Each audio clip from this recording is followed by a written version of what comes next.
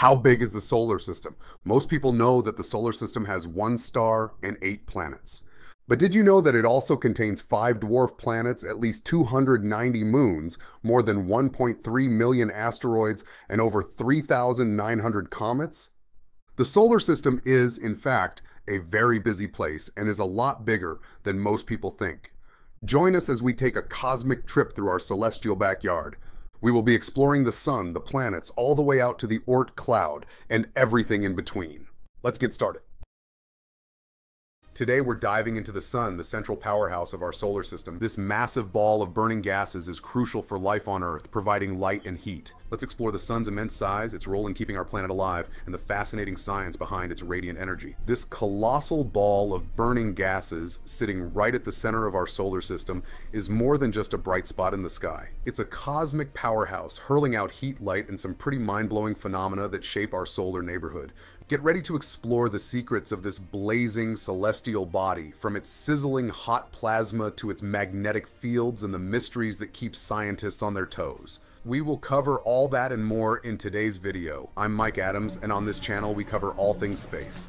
If it's your first time here, click subscribe and click the bell so you get notified when we release new content. In today's video, we are exploring the central powerhouse of our solar system, the Sun. Space probes from NASA and Europe currently orbit the Sun, scrutinizing our star's hot plasma mechanisms, magnetic fields, and atmospheric mysteries. The focus of these missions is to deepen our understanding of solar winds and various aspects of the Sun, offering fresh insights into its workings. At the Royal Observatory of Belgium in Brussels, a century-long dedication to sun observation has elevated its role as the global hub for the Sunspot Index.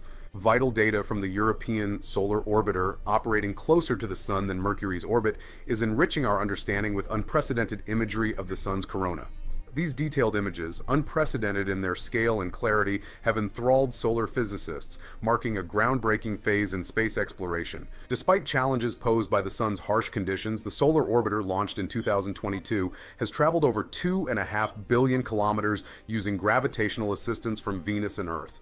The mission's primary objective is to improve space weather prediction, crucial for safeguarding Earth-based technologies like GPS satellites and power grids. Unraveling mysteries surrounding the sun's temperature variations and high-speed solar winds remains a central focus, with the solar orbiter's closer observations providing invaluable data for understanding the sun's impact on Earth and solving the long-standing puzzle of the corona's extreme heat. The Solar Orbiter's close-range observations are crucial for advancing our understanding of the Sun's behavior and its impact on Earth. Scientists are adjusting the spacecraft's orbit to explore uncharted areas like the solar poles, which are vital for studying the Sun's magnetic fields. Armed with 10 specialized instruments, the Solar Orbiter captures images across multiple frequencies from X-rays to extreme ultraviolet light.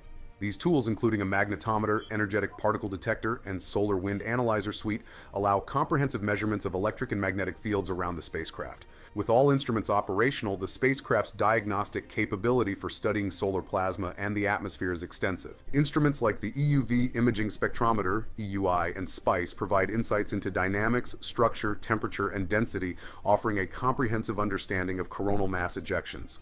Coordinating these 10 instruments is vital for maximizing the mission's potential.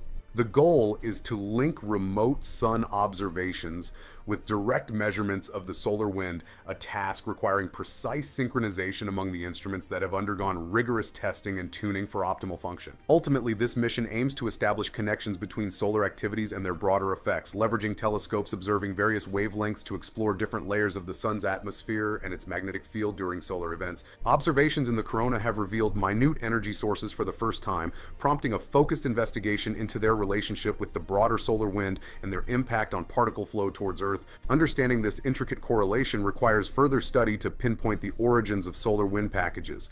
Initial findings, however, suggest a successful link between surface observations and solar wind behavior. The solar orbiter's proximity to the Sun, roughly one-third of the distance between the Sun and Earth, is crucial. This closeness allows for the collection of solar wind measurements in a nearly pure state before its journey towards Earth. Combining these measurements with solar images and spectra forms a comprehensive understanding of the sun and its solar wind. Efforts are underway to assess the risks posed by solar storms on Earth, with the recent achievement of the first perihelion marking a significant scientific milestone. This accomplishment bolsters confidence in repeating this feat approximately twice a year during close encounters with the sun, facilitating data transmission and analysis for fresh insights.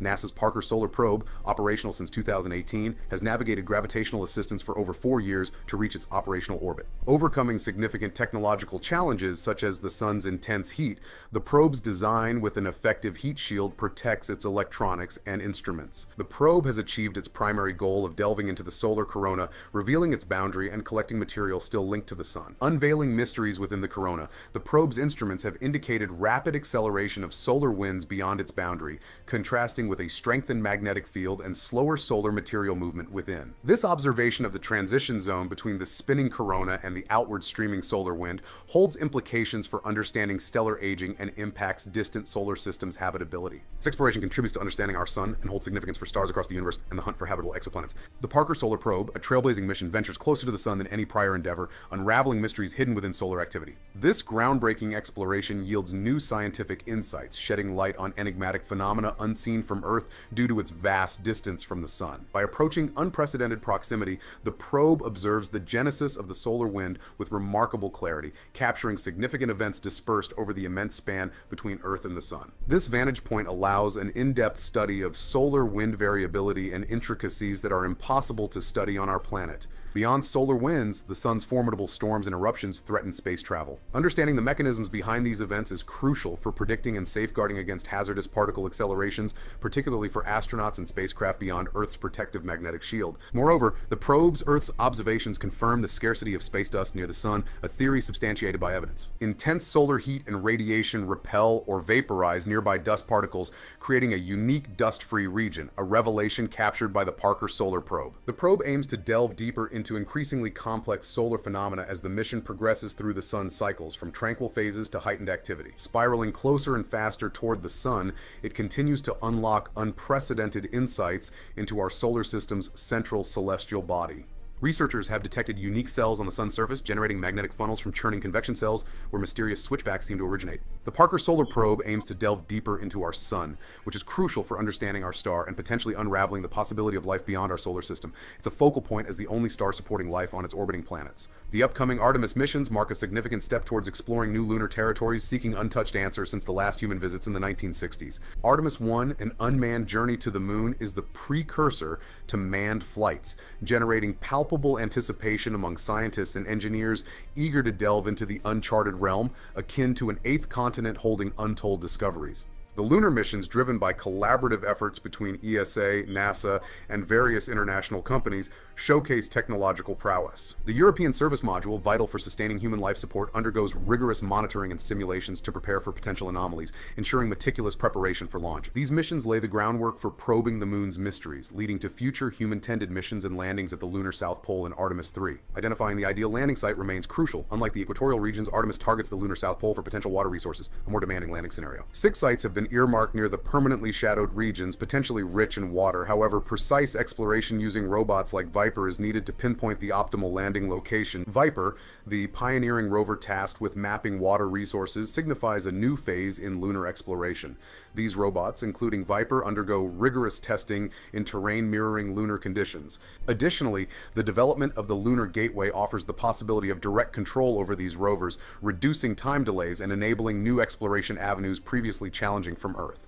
Currently, in Sicily, we're conducting experiments on Mount Etna to simulate lunar conditions. While the astronauts aren't aboard the National Space Station, they control operations from a hotel room. The European Space Operations Center in Germany oversees these operations, essentially role-playing as if they were on the moon. Mount Etna's slopes are an excellent replica of lunar terrain, facilitating realistic discussions and planning. The goal is to replicate lunar exploration scenarios, allowing scientists to engage deeply in discussions, considering the realistic lunar-like geology. These discussions then inform decisions made by the European Space Operations Center.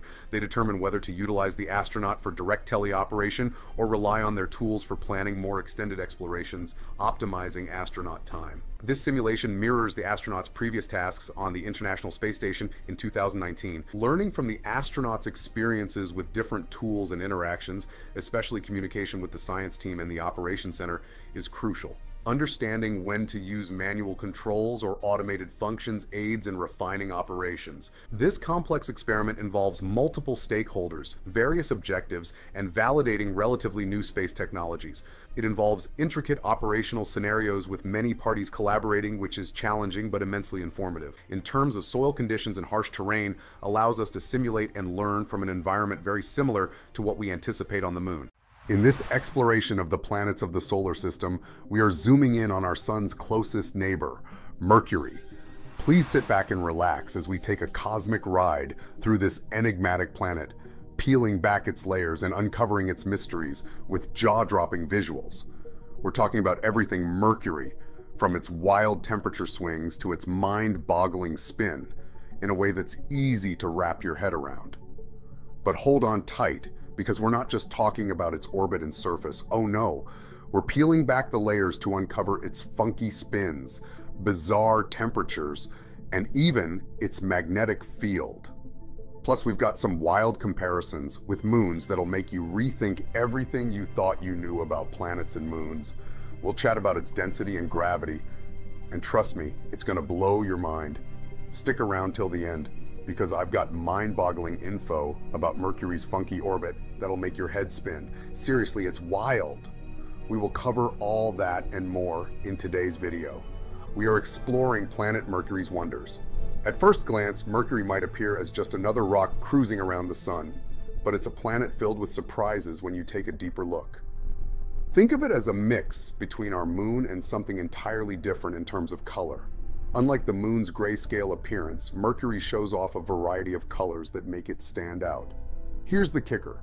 Most of Mercury, about 70%, is made up of metal, which is way more than we ever thought. This high metal content gives Mercury its unique vibe, making it the second densest planet in our solar system, right after Earth. It's like a dense little powerhouse hiding in plain sight among the planets. Even though it's close to Earth's size, Mercury has a different kind of gravity because it's smaller. It pulls things toward it with a force of about 3.7 meters per second squared, which is less than Mars, even though Mars is bigger. This happens because Mercury is more tightly packed inside. Mercury is more like our moon than big moons like Ganymede and Titan. It has wide flat areas and many craters from things hitting its surface. These clues suggest Mercury hasn't changed much geologically for billions of years. But there are still signs of stuff that happened in the past, like thin lines formed when its insides cooled down and made the surface harder. One big thing on Mercury is the Caloris Basin, a massive crater about 1,550 kilometers wide. When something hit Mercury and made that crater, it caused volcanoes to erupt, making a ring-like shape more than two kilometers high. Nearby, there's a strange area called the Weird Terrain, which looks totally different from most of Mercury's surface and got its name for being so unique. Mercury, our solar system's smallest planet, has undergone notable transformations on its surface over its long history. While it has been relatively calm for an extended period, evidence of significant past events remains, making it an incredibly intriguing celestial body for scientific study. One of Mercury's most striking aspects is its extreme fluctuation in surface temperatures it experiences. From an icy chill of about negative 173 degrees Celsius to an intense scorching heat of over 400 degrees Celsius. This incredible temperature swing is primarily due to Mercury's orbit around the Sun. The regions near the poles face the most frigid conditions, plummeting to approximately negative 93 degrees Celsius. Why? Mercury lacks a protective atmosphere to insulate it, causing these areas to become exceptionally cold. On the flip side, the hottest areas soar to around 400 degrees Celsius while the shadowed parts of the planet experience an average temperature of about negative 163 degrees Celsius. Now, why such extreme temperatures? Mercury's small size and its proximity to the Sun play crucial roles. Its size restricts its ability to maintain an atmosphere, preventing it from effectively holding onto the heat it receives from the Sun. Consequently, the side facing the Sun experiences these extreme cold temperatures. Interestingly, Mercury doesn't have a robust atmosphere like Earth's, but it possesses a very thin layer called an exosphere. This exosphere is remarkably sparse, similar to an atmosphere but incredibly faint in comparison. These dramatic temperature shifts and the planet's limited ability to retain heat and atmosphere contribute to the extreme variations in surface conditions across Mercury. Understanding these fluctuations sheds light on the planet's history and continues to captivate scientists studying this enigmatic world. Mercury's exosphere, the outer layer enveloping the planet, behaves uniquely due to its sparse distribution of particles held together by gravity. Unlike typical gases, it's incredibly thin. When bombarded by solar winds, Mercury's exosphere releases particles into space, leaving behind a trail of atoms. This phenomenon occurs universally among planets, marking the boundary between space and our atmosphere, starting approximately 600 kilometers above Earth's surface. Constant flux characterizes Mercury's exosphere, where particles are consistently lost and replenished from various sources. Notably, NASA made a groundbreaking discovery of water ice in craters at Mercury's North Pole, a feature not found on Mars. Moreover, Mercury boasts its magnetic field, although significantly weaker than Earth's, measuring only about 1.1% of Earth's magnetic strength.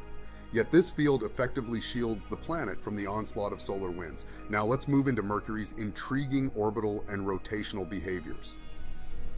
Unlike other planets, Mercury's orbit around the Sun stands out significantly and presents a puzzle. Mercury's distance from the Sun notably fluctuates, ranging between 46 million kilometers and 70 million kilometers. It completes a full orbit around the Sun in approximately 88 Earth days. The spin pattern of Mercury is rather peculiar. For every two orbits around the Sun, Mercury rotates three times on its axis. Therefore, a complete rotation on Mercury takes around 59 Earth days, termed a sidereal day. However, if you count from one sunrise to the next, known as a solar day, it feels like two full years on Earth. When standing on Mercury, observing the sun becomes a remarkable experience. The sun's movements are quite intriguing. It rises rapidly, slows around midday, switches directions, and eventually sets after a full year. Interestingly, nighttime on Mercury extends for an entire year as well.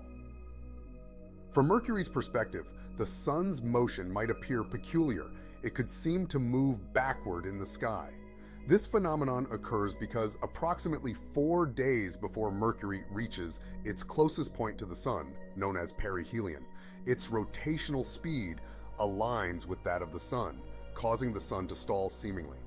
However, Mercury's orbital speed overtakes its rotational speed during perihelion, creating the illusion of the sun moving backward.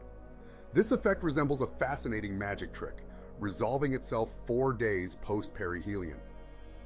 Viewing Mercury from above unveils a unique event where the sun momentarily halts and resumes its movement twice daily at one of Mercury's poles.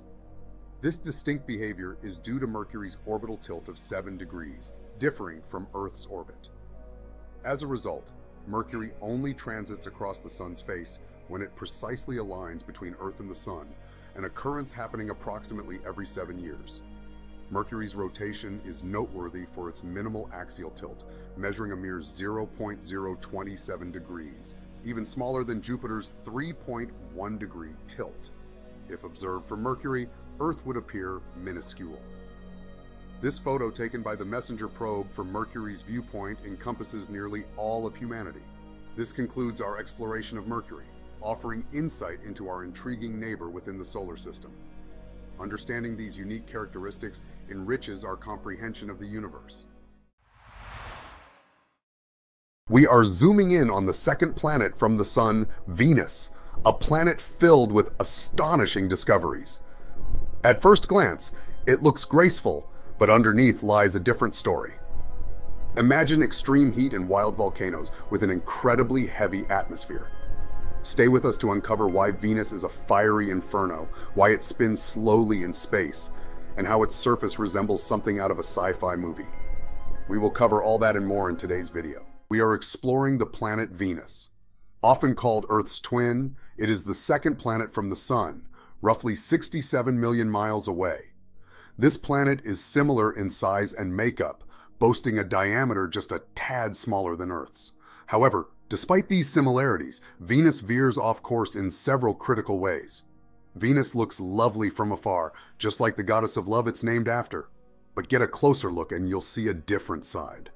Under its calm appearance, Venus is scorching hot, with active volcanoes and a super thick atmosphere. Venus is Earth's closest neighbor in our solar system, circling the Sun at an average distance of about 108 million kilometers. One thing that makes Venus special is how it moves. It travels in a nearly perfect circle compared to other planets, so its distance from the Sun doesn't change much. When Venus gets closest to Earth, it's only about 41 million kilometers away. But even though it's closer, it's not the brightest thing in the sky. That's because at that time, we see the side of Venus that's not lit by the sun. It's like it's between the sun and us. But we can still see Venus because sunlight bends through its atmosphere. The brightest time we see Venus is when it looks like a thin crescent shape in the sky. At this point, it becomes the brightest thing in the night sky after the moon. This is why sometimes people mistake Venus for a UFO, as it's quite noticeable during these times. Former US President Jimmy Carter once thought he saw a UFO in 1969, but later checks suggested it was probably just Venus. Many folks mistake Venus for something more exciting because it's super bright Venus, the planet that orbits between Earth and the Sun, occasionally crosses in front of the Sun from our perspective. This rare event occurs in pairs, spaced eight years apart, but such pairs occur only about once every hundred years. The last transit was observed in 2012, and the next one won't be visible until 2117. In terms of its movement, all planets revolve counterclockwise around the Sun, including Venus. However, Venus spins in a clockwise direction, a unique characteristic among the planets. This slow rotation takes 243 Earth days for one complete turn, making a day on Venus longer than its year, which spans 224 Earth days. Because of this backward spin, a day on Venus, from sunrise to sunrise, is significantly shorter, lasting about 117 Earth days. On Venus, a year nearly equals two days on Earth. The planet's slow rotation, moving at about 6.5 kilometers per hour at its equator, results in its almost spherical shape, which is unusual considering its opposite spin compared to other planets. The reasons for this peculiar behavior remain uncertain. Possible explanations range from a past collision with a large object to unique interactions with the Sun's gravitational pull affecting Venus's atmosphere. Similar in size and mass to Earth, Venus is often called our sister planet. It's among the four inner rocky planets in our solar system. Venus is a bit smaller than Earth, about 12,100 kilometers wide compared to Earth's 12,740 kilometers. It's denser too, with a weight of 5.243 grams per cubic centimeter versus Earth's 5.514 grams per cubic centimeter. Its gravity is slightly weaker than Earth's, about 0.9 times as strong. But that's where the similarities end. On Venus, the air pressure on the ground is a whopping 92 times greater than on Earth. Think of it like going a kilometer under the ocean on Earth. That's how much pressure Venus has. The air there is almost 93 times denser than what we have here. It's mostly made of carbon dioxide with sulfur dioxide clouds that trap heat well, creating the most intense greenhouse effect in our solar system. On average, temperatures on the surface can reach about 462 degrees Celsius. Surprisingly, Venus is hotter than Mercury, even though Mercury is closer to the Sun and gets more sunlight. Mercury doesn't have an atmosphere to trap heat, but Venus does. This keeps Venus consistently hot day and night without much temperature change. It's like a thermal flask keeping the heat inside. Venus doesn't tilt much, so its temperature doesn't change with the seasons. Winds on the surface aren't strong, but the thick atmosphere moves small rocks and dust around. Up in the clouds, the winds are fast, giving the impression that Venus spins faster than it does. These clouds contain acid, making Venus's conditions even harsher, although any acid rain evaporates before reaching the ground. The clouds around Venus reflect most of the sunlight and only allow about 10% to pass through. They cover the entire planet, blocking the view of the surface from space. These clouds can create lightning, similar to what happens on Earth, but not as often. Recently, scientists found a large swirling thing at the south pole of Venus, similar to what you see on Saturn. Venus and Saturn look different in shape. Venus only has one big storm, while each dot on Saturn represents a separate storm with the main swirl in the middle. The swirl on Venus is about 59 kilometers above the clouds.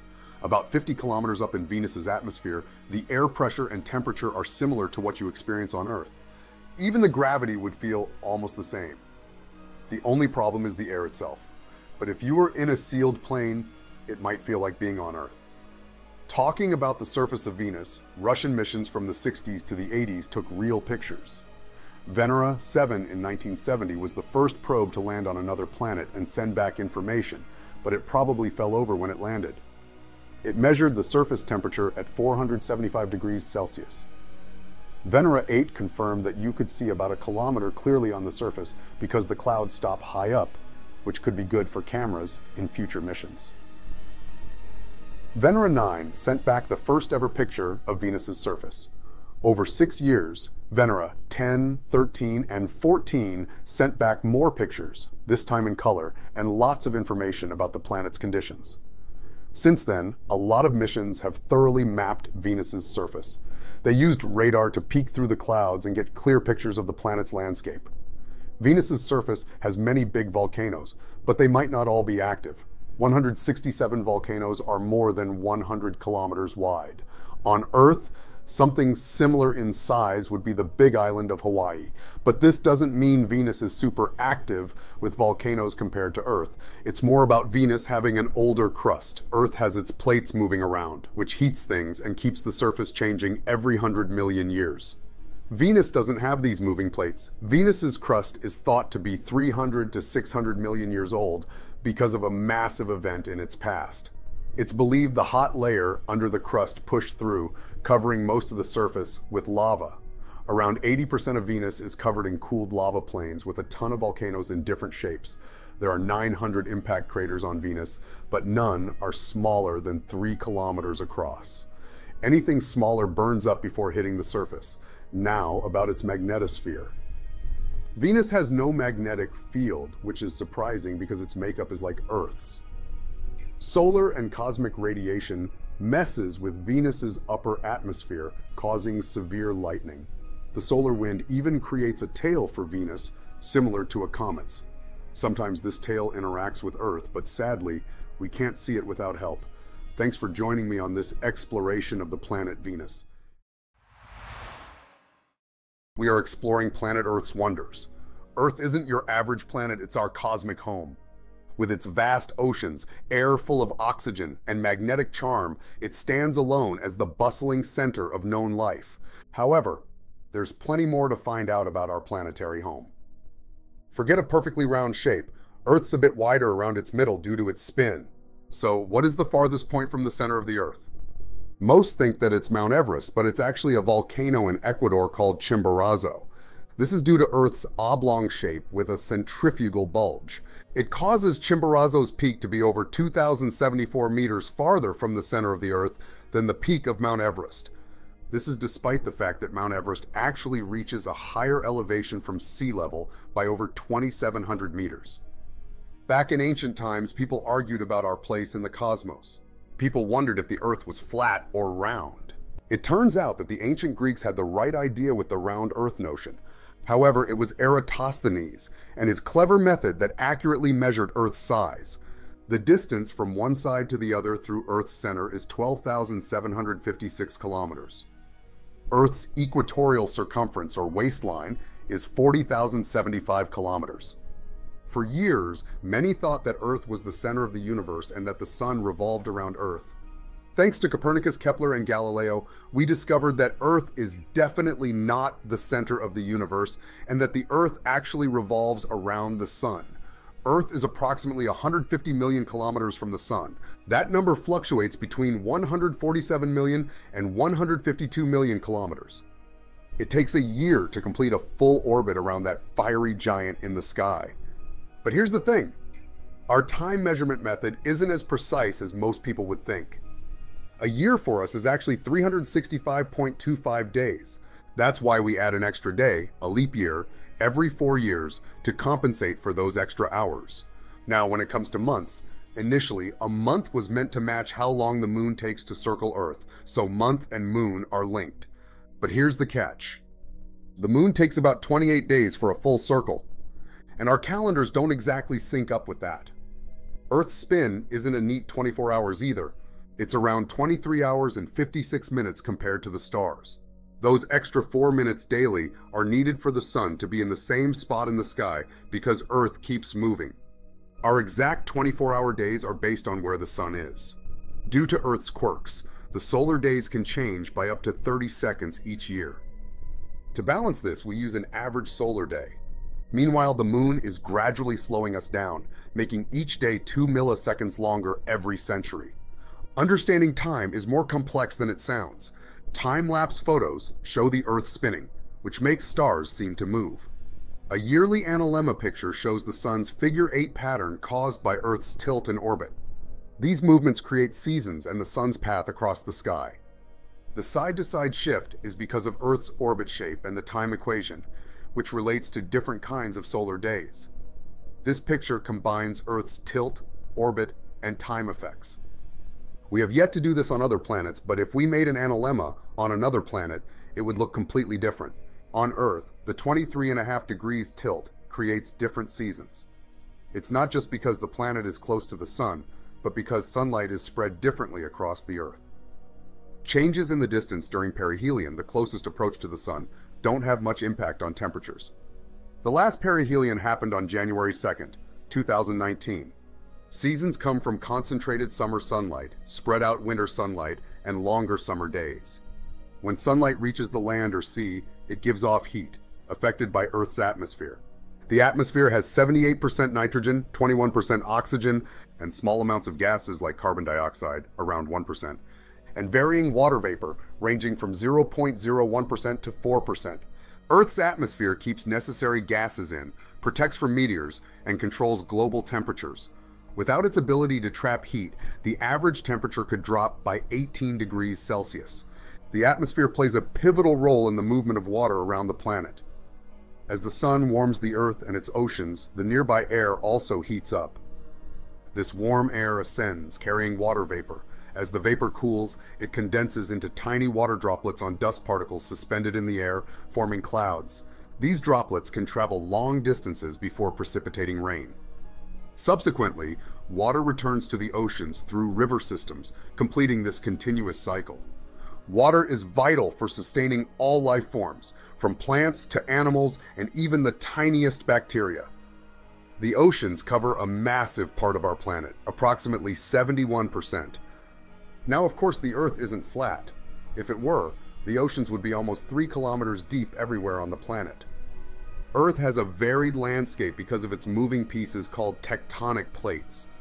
Like giant puzzle pieces, the surface moves due to a thin outer layer and a hot, active part underneath called the mantle. This movement creates things like volcanoes, mountains, and earthquakes. Despite the dangers, these movements keep Earth alive and fertile. Below the mantle is a core made of dense metals like iron and nickel. This core produces a massive magnetic field that protects us from the sun's particles and creates those stunning auroras we sometimes see. Our moon is unique too. It's the biggest in our whole solar system compared to its planet. It affects the ocean's tides by pulling on the water with its gravity as the Earth spins. This pull creates a bulge in the water and slightly affects the Earth's surface. These tides might be why the Earth's plates move so much. It's mind-blowing to think about everything that had to happen for life to exist here. Because of these events, almost 8 billion of us are on Earth, asking big questions and exploring our place in the universe. This image showing our planet from space is incredible. Understanding these unique characteristics enriches our comprehension of the universe. Today we're diving into Mars, the rusty red wonder in our solar system. Now this isn't your usual science class talk. Brace yourself for some mind-blowing facts. Before we head into Mars World, did you know a day on Mars is just a bit longer than Earth's? It's roughly 24 hours, 39 minutes, and 35 seconds. And get this, a year on Mars is nearly 687 days on Earth. Mars might be smaller than Earth, but it's got some serious geological power. Imagine a canyon three times longer and four times deeper than the Grand Canyon. That's Valles Marineris, etched into Mars's surface like a colossal scar. Another fun fact is that the tallest volcano in our solar system isn't on Earth. It's actually on Mars. Olympus Mons stands at three times the height of Mount Everest above sea level. And here's the real surprise. It's not just tall, it's vast, stretching over 600 kilometers. That's one colossal volcano. You see, Mars isn't just about rocks and craters. It's full of excitement. Dust devils whip around like mini tornadoes, and gigantic dust storms sometimes cover the whole planet, enough to leave you amazed. We will cover all that and more the wonders of planet Mars. Have you ever wondered what Earth looks like from Mars? Look at this snapshot from a spacecraft orbiting about 80 million kilometers away. Even though it might look small and a bit blurry, that's Earth. You can see the western hemisphere and the moon in the background. And here's another photo from the Curiosity rover showing Earth as a tiny dot in the vastness of space. Now, Earth is much bigger than Mars, which makes it heavier. That's why gravity on Earth is more substantial than it is on Mars. If you compare them, Earth on the left and Mars on the right, things fall slower on Mars than they do on Earth. If you weigh 100 kilograms on Earth, you'd only weigh about 38 kilograms on Mars. Mars is orbited by two moons, Phobos and Deimos, which differ significantly from our moon in size and shape. When observed from Mars, these moons appear much smaller in the sky compared to our moon's appearance from Earth. Phobos presents a relatively larger appearance in Mars's sky, while Deimos appears as a distant, tiny object revolving around the planet. Despite their diminutive size, these moons possess their unique charm. One of Mars' rovers notably captured a rare solar eclipse, an extraordinary event worth seeing. Visualize Mars gradually obscuring the sun, showcasing its rugged and captivating allure. This remarkable phenomenon boasts visual splendor and causes a noticeable dimming of the surrounding light. Like Earth, Mars has its own set of seasons because it tilts. Mars sees its versions as we experience different seasons here on Earth, with frigid winters up at the poles and relatively warmer summers near the equator. These caps stick around at the ends of Mars during winter, much like what we have at Earth's poles. These caps are mostly ice, in these images, you can see the caps getting bigger and smaller as Mars moves between its seasons. When the ice in these caps turns into gas, it creates fast winds, up to about 250 miles per hour. Scientists believe these changing patterns are caused by how things move around on Mars. These images show the swirling shapes, giving us a glimpse into how the seasons change on Mars and how the planet behaves throughout the year. Mars gets its nickname the Red Planet because of the rusty iron oxide on its surface, making it look red. Photos from NASA's Mars rovers reveal a landscape with many reddish-brown colors in rocks and the ground, giving us a glimpse of what it's like there. The photos snapped during the Viking mission more than 40 years ago show Mars as a busy planet. Even though it looks empty, Mars is bustling with activity. In 2008, a spacecraft circling the planet caught a considerable avalanche that kicked up a massive dust cloud, revealing dunes that were about 700 meters tall and stretched for four miles. These dunes keep changing all year round, forming ridges as dust settles. Craters from impacts also change the landscape, showing signs of water ice melting and leaving visible trails. Many pictures taken from above show cool stuff, like a ginormous dust cloud, almost 800 meters tall and 30 meters thick. The shadow it makes is about 2 kilometers wide. Rovers even caught videos of these dust devils cruising around. When Mars' fast winds stir up the ground, substantial dust storms cover the whole planet. You can see these storms from space. Remember that dome-shaped dust thing in 2012? It settled down within a week.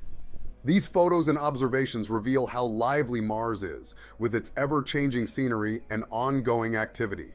Another remarkable feature of Mars is Valles Marineris, an expansive canyon stretching across the Martian surface that dwarfs Earth's Grand Canyon, three times lengthier and four times more profound. Mars boasts an imposing mountain, ranking as the solar system's second tallest and hosting the most prominent volcano known. Olympus Mons, exceeding Mount Everest in width, spans over 600 kilometers and rises to remarkable heights due to its massiveness. Its appearance resembles a colossal mound on the Martian landscape, adorned with craters at its summit and a colossal cliff outline towering up to 8 kilometers high. The absence of a magnetic field on Mars, which vanished 4 billion years ago, exposed the planet to solar winds that steadily eroded its atmosphere, a compelling phenomenon meticulously observed by orbiting spacecraft. Because of this, breathing on Mars poses a significant challenge due to its air being predominantly carbon dioxide.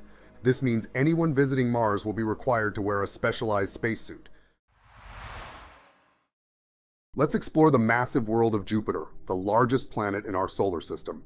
Get ready for some mind-blowing facts that'll change how you see this colossal gas giant. Did you know Jupiter is like the heavyweight champ of planets, being a whopping 318 times heavier than Earth?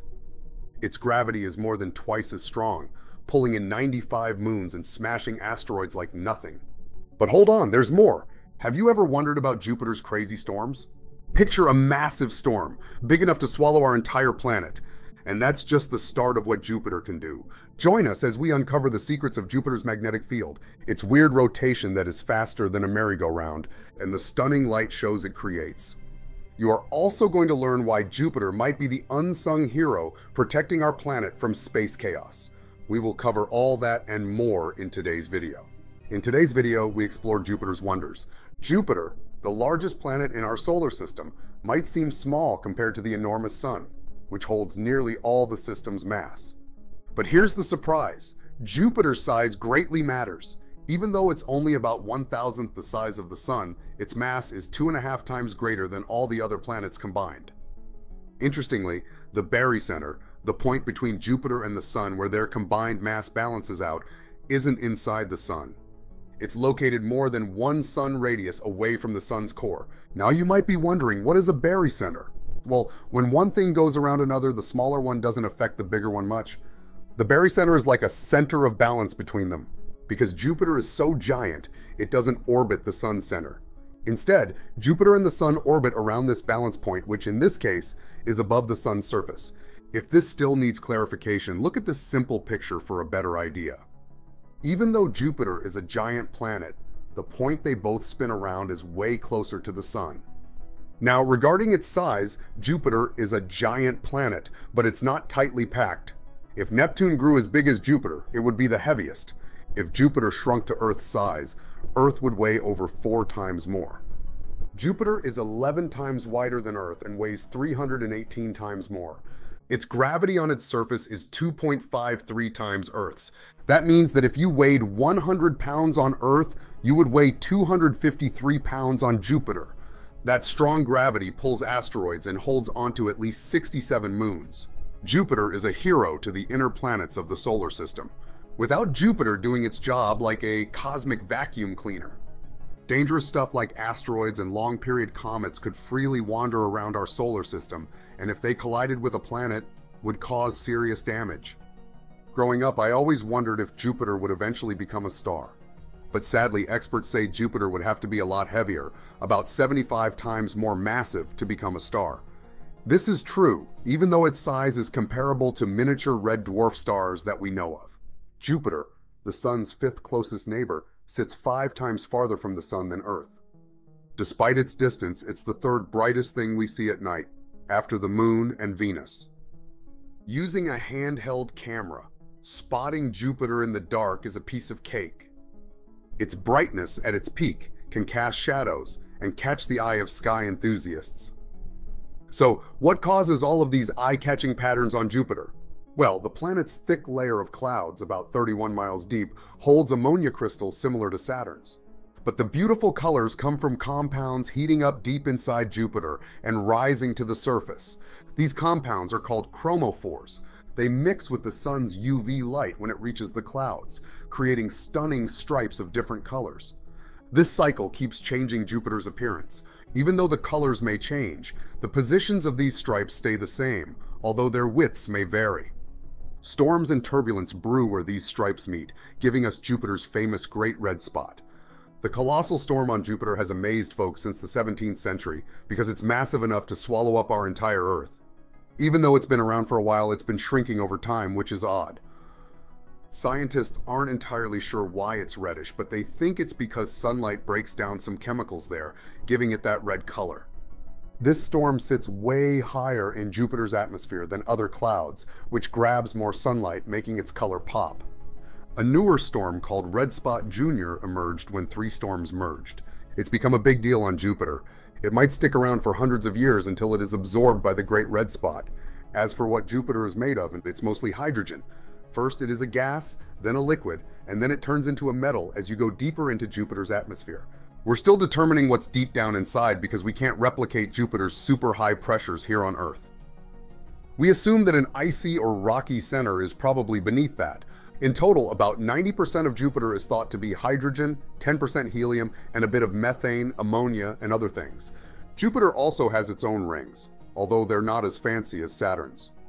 The giant ring is narrow but bright, while the others are wider and more challenging to see. The main ring is about 6,500 kilometers wide and has an excellent Metis notch. One unique thing about Jupiter is its super strong magnetic field, 14 times stronger than Earth's. This strong field comes from the planet's liquid metallic hydrogen center, making Jupiter's magnetic field the strongest of all planets. This powerful field pulls solar winds towards Jupiter's poles, making those fantastic auroras. Jupiter's four biggest moons are protected from these solar winds because they orbit within this magnetic field. Jupiter's four largest moons are Io, Europa, Ganymede, and Callisto, and they are some of the largest in our solar system. Ganymede is even bigger than the planet Mercury. Jupiter is the fifth planet from the Sun, hanging out between the asteroid belt and Saturn. It's about 778 million kilometers away from the Sun, this means a year on Jupiter is nearly 12 Earth years. Jupiter only has a slight tilt, which means it doesn't have significant changes in seasons like Earth and Mars. Another interesting thing about Jupiter is how fast it spins. It only takes this beast 10 hours for a complete spin. But because it's not solid, its spin changes a bit, taking about 5 minutes longer at the poles than at the equator. Jupiter's massive size and job protecting our solar system are pretty cool, it's like a guard, stopping things that could cause big trouble for Earth.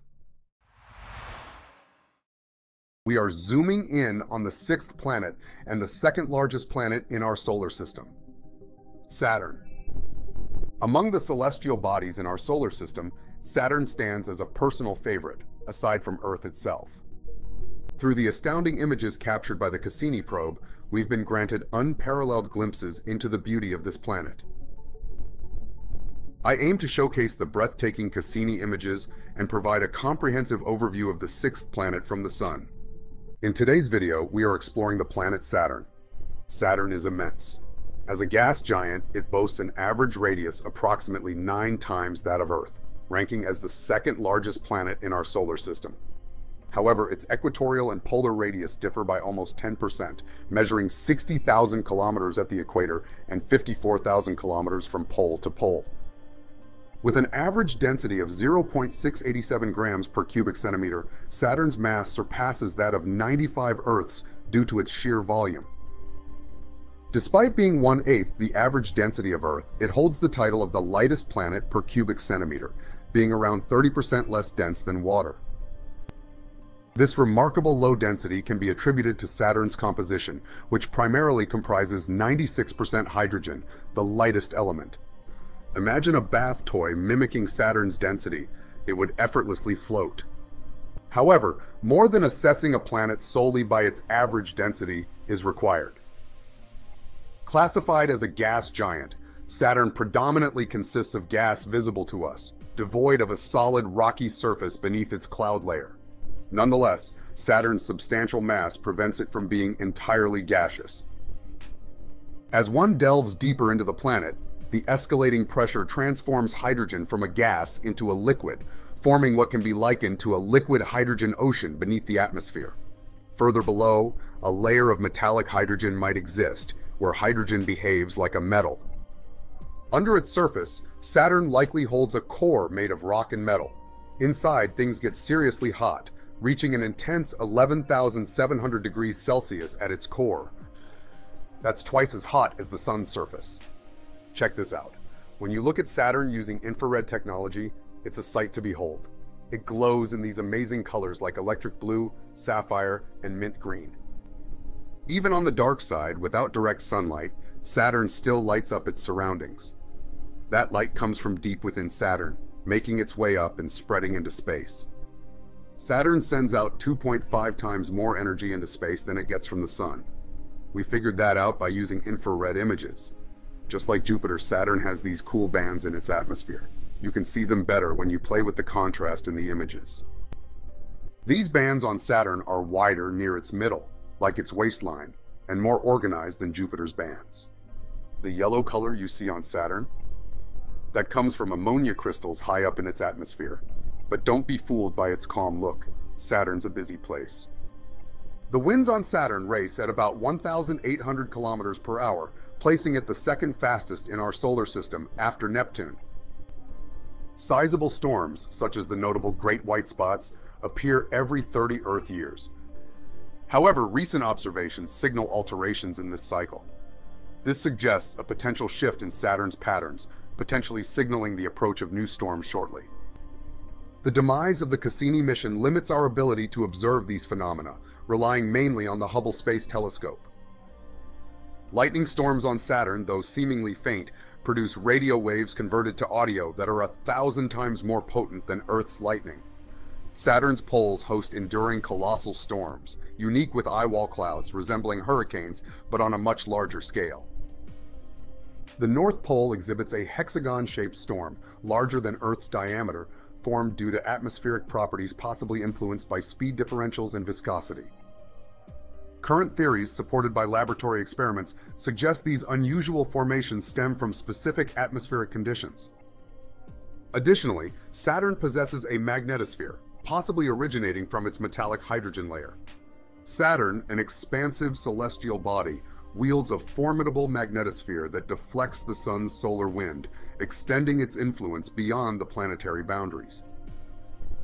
Like other planets with magnetospheres, Saturn showcases mesmerizing auroras, the vividness and placement of which hinge greatly on the pressure exerted by the solar wind.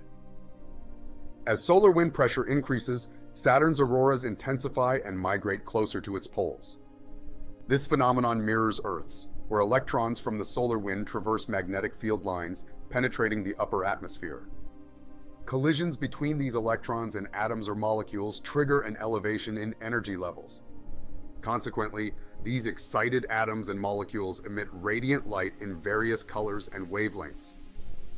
On Earth, this luminosity primarily stems from oxygen atoms and nitrogen molecules, whereas on Saturn, it emanates predominantly from hydrogen. Saturn's most renowned feature, its ring system, comprises 10 continuous main rings. Despite their alphabetical nomenclature, identifying these rings might pose a slight challenge. The initial five rings, D, C, B, A, and F, vary in luminosity and proximity to the planet, spanning a distance from 66,000 km to 140,000 km above Saturn's core. Composed chiefly of water ice with traces of dust and rocks, these rings exhibit a notable discrepancy in ice concentration between their inner and outer regions, evident in ultraviolet observations. Visual representations employing radio occultation techniques reveal the diverse particle sizes constituting the rings. The color scheme denotes particle dimensions. Red signifies particles larger than 5 centimeters. Green indicates those smaller than 5 centimeters, and blue represents particles less than 1 centimeter in diameter. These observations suggest that, while most ring particles are microscopic, none exceed 10 meters in size. Moreover, the primary rings range in thickness from a mere 10 meters to approximately 1 kilometer. Despite how captivating they are, Saturn's rings could be more perfectly symmetrical. They go through changes now and then, especially during the planet's equinoxes. When we look closely, we see some pretty cool stuff within the rings, like ridges and spokes that are a few kilometers tall. You can spot these because they cast shadows that stand out. These changes, which might be caused by a moon's influence or happen naturally, can make the rings shift up to 200 kilometers in just one day. Let's focus on one particular ring of Saturn, the F ring. There's something exciting happening there thanks to a moon called Prometheus. This little satellite, about 102 kilometers wide, stirs things up in the F ring as it goes around Saturn. As Prometheus moves in its elliptical path, which takes about 14.7 hours, it gets farthest from Saturn and closest to the F ring. When it's there, its gravity pulls stuff from the core of the F ring, making these distinct ripples. Past the F ring, there are more rings, the Janus or Epimetheus ring, the G ring, the Pallene ring, and then the E ring. When the sun shines on them, they become visible. The E ring stands out in blue, and the faint Pallene ring is the easiest to see. After them, there's the G ring and the Janus or Epimetheus ring. Finally, the Phoebe ring, recently discovered, extends far beyond Saturn, likely originating from Saturn's moon Phoebe. This extensive ring, if visible from Earth, would span the size of two full moons. The Phoebe ring's dust affects Iapetus, Saturn's outermost regular moon, coloring it distinctly. Iapetus, tidally locked, exhibits two contrasting faces due to its exposure to the Phoebe ring. Saturn hosts at least 82 moons, with Titan being its largest, surpassing Mercury, boasting a unique thick atmosphere. Among these moons, Mimas, often referred to as Saturn's Death Star, stands out. However, most of Saturn's moons are relatively small. Saturn's orbit places it 9 to 10 times farther from the Sun than Earth, resulting in a 30-year duration for one Saturn year.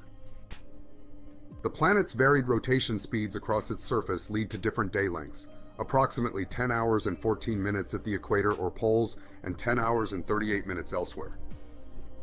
Saturn's enchanting appearance with its graded colors and majestic rings, remains a subject of curiosity among scientists, possibly influenced by seasonal variations and cold temperatures in its winter hemisphere. Exploring Saturn, despite Cassini's insights, still leaves much uncharted. We are zooming in on the seventh planet from the Sun and the third largest world in the solar system, Uranus. A planet known as the ice giant might seem like a barren expanse in the distant parts of our solar system. But it holds remarkable distinctions, setting it apart from other planets. We will cover all that and more in today's video. Today, let's dive into the intriguing planet Uranus. It's a bit of an oddball among the planets. While the rest are named after Roman gods, Uranus gets its name from the Greek god of the sky, Uranos. Beyond just the name, Uranus is unique in how it moves around. It's the seventh planet from the Sun, almost 19 times farther away than Earth on average, sitting at about 19.2 astronomical units, AU. Even though Uranus seems pretty far off, it's got a special place in our cosmic lineup. Its name and its far-off orbit make it stand out in our sky. What's interesting about Uranus is how much its orbit changes.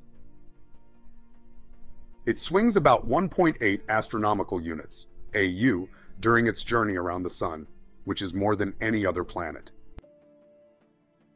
Uranus is this fascinating cosmic puzzle that beckons us to explore more about its mysteries and what makes it so different from the rest of our celestial neighbors. Its considerable distance from the sun results in extreme coldness, with temperatures dropping to minus 220 degrees Celsius, making Uranus the coldest planet in our solar system. Spanning 84 Earth years, Uranus's year initially puzzled astronomers who, upon observing its orbit, failed in their predictions. This deviation led to the discovery of Neptune, as scientists deduced the presence of an unseen planet exerting gravitational influence.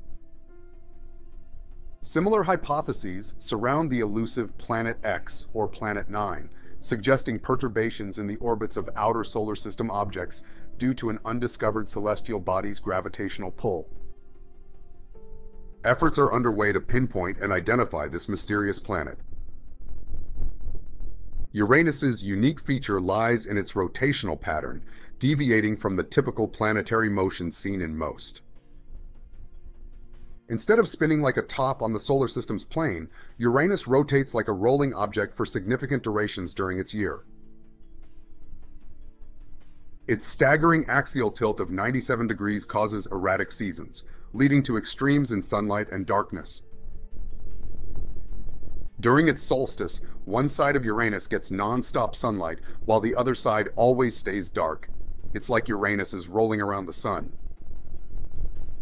The middle part has hardly any changes between day and night. But at the poles, It's 42 years of pure darkness, followed by 42 years of constant daylight. When it's equinox time, Uranus acts more like how days and nights work on Earth. The last equinox happened in 2007, and now Uranus is shifting away from that, moving back to its solstice. Surprisingly, Uranus spins fast, completing a full turn every 17 hours and 14 minutes. But because it's made of gas, different parts move at different speeds. Some areas whirl around in just 14 hours because of super strong winds. This peculiar rotation and extreme axial tilt result in an unusual energy distribution from the sun. Despite receiving more solar energy at its poles on average, the equatorial region remains hotter, a phenomenon that still baffles scientists. There's an ongoing discussion about why Uranus spins differently, but it's widely believed that a massive planet collision knocked it on its side.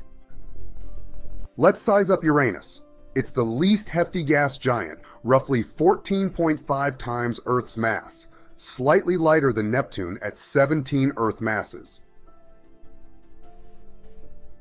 In terms of sheer dimensions, Uranus boasts a diameter a tad larger than Neptune's, spanning a colossal 50,700 kilometers, roughly four times the circumference of our home planet. Despite its comparative lightness, Uranus maintains a gravitational force that isn't far behind Earth's. Clocking in at 8.7 meters per second squared, or roughly 0.89 times Earth's gravity, this force remains substantial despite Uranus's more dispersed mass distribution. When it comes to what's inside Uranus, it likely has a slightly smaller core than Earth's, surrounded by a mix of rocky stuff like silicates, water, ammonia, and frozen methane. The layer around the core is super hot at almost 5,000 degrees Celsius, like a liquid ocean. Despite being called a gas giant, Uranus isn't all gas. Its atmosphere, weighing only half as much as Earth, isn't much compared to what's inside. It's mostly helium, hydrogen, 2.3% methane, and a cloudy layer that gives Uranus its blue-green color. Below Uranus's surface, there's something pretty cool happening.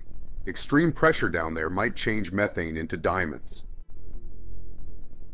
This could mean that deep down, there's a sort of liquid diamond or carbon layer with little bits of diamond floating around. Fascinating, right? Now let's talk about Uranus's rings. It's got 13 dark, young rings, mostly a few kilometers wide, made about 600 million years ago after the planet formed. These rings are made of tiny stuff like ice and dark matter and barely reflect light. How did these rings show up? Maybe from big crashes with Uranus's many moons. Those moons might guide some rings, but that only explains why one ring is so narrow. The story of Uranus started in 1977 when astronomers noticed a star getting dimmer as Uranus passed in front of it, showing there were rings around Uranus. Voyager 2 took a close look in 1986 and found 11 rings. Later, the Hubble telescope spotted two more rings, one way farther out than the others. Now let's discuss Uranus's moons. Uranus boasts 27 moons categorized into three groups, 13 inner moons, 5 major moons, and 9 irregular moons. The inner moons likely contributed materials to the planet's ring system, with Puck being the largest at a diameter of 162 kilometers. These inner moons constantly influence each other, hinting at potential collisions in the future. The five significant moons, Miranda, Ariel, Umbriel, Titania, and Oberon, vary in size and composition. Titania stands out as the largest, about 1,600 kilometers in diameter, while Umbriel is notably the darkest. Except for Miranda, which is mostly water ice, the others are believed to be a mix of rocky and icy materials, possibly housing liquid water beneath their surfaces. An intriguing similarity exists between the axial tilts of these large moons and Uranus, causing them to experience prolonged periods of sunlight during the solstice. This alignment results in a scenario where, during the solstice, one side of the moon faces the sun constantly, creating an enduring daytime. Uranus's last nine moons are considered irregular, likely captured objects that orbit much farther out than the larger moons, like Oberon. These moons vary in size, ranging from 20 kilometers to the largest Sycorax, which boasts a diameter of about 200 kilometers. Let's delve into Uranus's climate and magnetosphere. Uranus experiences unique seasons due to its exceptional axial tilt. Technological telescope advancements have only allowed us to study Uranus's surface details for decades. Consequently, it's challenging to track changes between Uranian years definitively. The pole brightens. However, observations reveal that as the planet nears solstice and a collar forms. Conversely, moving away from solstice, the pole and collar dim. This brightness likely results from thickening methane clouds, although the exact cause remains unclear. Seasons also impact storms in the upper atmosphere, which are comparatively infrequent on Uranus, but are believed to be tied to seasonal changes. Improved telescope technology has revealed bands encircling the planet, primarily visible in infrared light, a feature Voyager couldn't capture in visible light. Another distinctive trait of Uranus is its unusual magnetosphere. Unlike most planets, its magnetosphere doesn't originate from the geometric center or align with the rotational axis, it's off by 59 degrees. This peculiar placement results in a stronger magnetosphere at the North Pole than at the South. Theories suggest that a liquid diamond ocean could deflect the magnetosphere, or that it might not even originate from the core, but instead from the liquid mantle. Despite this oddity, Uranus's magnetosphere is comparable in strength to Earth's. Due to its unique rotation, its magnetotail extends millions of kilometers into space, spiraling off in a corkscrew pattern. That covers a comprehensive overview of the intriguing world of Uranus. We're taking a deep dive into Neptune, the eighth planet from the Sun. It's the farthest known planet in our solar system, and we're peeling back the layers to explore its intriguing secrets. From its distant orbit to its captivating storms and enigmatic moons, Neptune stands as a celestial marvel worth exploring. Stay tuned as we unravel the secrets of Neptune's frigid atmosphere, its rapid winds, and the mesmerizing rings that encircle it. Plus, we'll delve into the intriguing behavior of its moons and the captivating mysteries that continue to baffle astronomers. We will cover all of that and more in today's video. In today's video, we are exploring the planet Neptune. Now, when astronomers observed Uranus deviating from predicted orbits, Urbain Le Verrier in 1846 postulated the existence of an unseen planet. With meticulous calculations, he pinpointed where this celestial body should be, leading Johann Galle to remarkably confirm its existence near the projected location. Shortly after Neptune's discovery, its largest moon, Triton, emerged into our awareness. Despite its presence, Neptune remained a mystery due to its vast distance from Earth, impeding comprehensive study via ground-based telescopes. Not until Voyager 2's arrival in 1989 did a wealth of information about the planet become accessible. The spacecraft unveiled Neptune's appearance, confirmed its planetary rings, and unearthed a trove of previously unknown moons. Fast forward to today, where we stand poised to delve deeper into Neptune's mysteries and revelations. Neptune, currently recognized as the eighth planet from the Sun, stands as the most distant planet following Pluto's reclassification. Positioned approximately 30 times farther from the Sun than Earth, Neptune resides at an average distance of 30 astronomical units, AU, equating to about 4.5 billion kilometers. This substantial distance signifies that a space probe, utilizing present technology, would require approximately 13 years to reach this celestial body. The vast orbit of Neptune demands a staggering 165 years to complete a single revolution around the Sun, meaning that since its discovery, only one Neptunian year has elapsed. This extensive distance from the Sun contributes to Neptune's frigid atmospheric conditions with an average temperature plummeting to minus 201 degrees Celsius.